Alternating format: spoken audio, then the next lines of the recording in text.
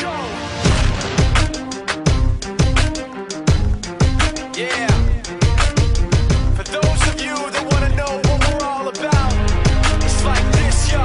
This is 10% luck, 20% skill, 15% concentrated power of will, 5% pleasure, 50% pain, and 100% reason to remember the name.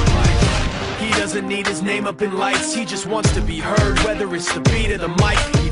So unlike everybody else, alone. In spite of the fact that some people still think that they know, but no, he knows the code. It's not about the salary, it's all about reality and making some noise, making a story, making sure his click stays up. That means when he puts it down, Tox picking it up. Go. The hell is he anyway? He never really talks much, never concerned with status, but still even him starstruck. Humble through opportunities given despite the fact that many misjudge him because he makes a living from writing raps. Put it together himself, now a picture connects. Never asking for someone's help or to get some respect. He's only focused on what he wrote. His will is beyond reach, and now it all unfolds. The skill of an artist. This is 20% skill, 80% fear, be 100% clear, cause Ryu was ill. Who would've thought he'd be the one that set the West in flames? And I heard him wreck it with the crystal method, name of the game. Came back, dropped Megadeth, took him to church. I like bleach, man. why you had the stupidest verse, this dude is the truth. Now everybody giving them guest spots and stocks through the roof. I heard he f***ing with that This is 10% luck,